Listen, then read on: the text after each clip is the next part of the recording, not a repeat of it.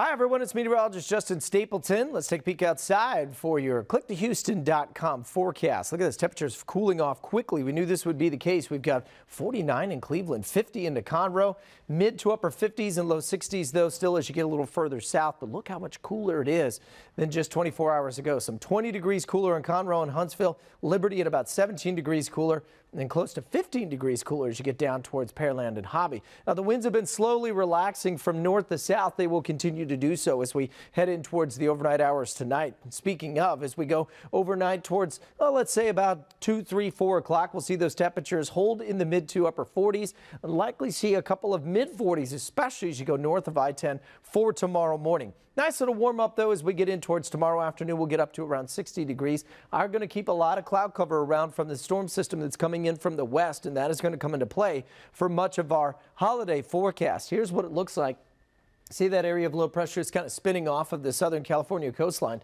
and all the Pacific moisture that's being pulled in from the west. And so as it's bringing scattered showers across El Paso and North Texas now, we'll see that a lot of that cloud cover keep us under, we'll call it fairly overcast conditions for most of our Friday forecast. So starting off Friday morning and into the afternoon, not much left in terms of rainfall. Could maybe get a quick sprinkle, uh, but the majority of the rain will all start to pull on through here as we get in towards Saturday afternoon and evening. So that does include your New Year's Eve plans, which may have to be indoors for many of us, not only through the afternoon, but in through about 10, 11 o'clock. Some of that real heavy rain pushing eastward, which is good, but there is enough that we will likely keep things on the soggy side at times overnight going in towards New Year's Day. Still looking at a potential for some scattered shower activity as well. So as we ring in 2017 officially, we'll keep the temperatures on the mild side in the mid to upper 60s, but we'll be dodging some rain showers, overcast conditions, and just an occasional uh, brief heavy downpour at times. So parties inside, probably the best plan for our Saturday afternoon and evening.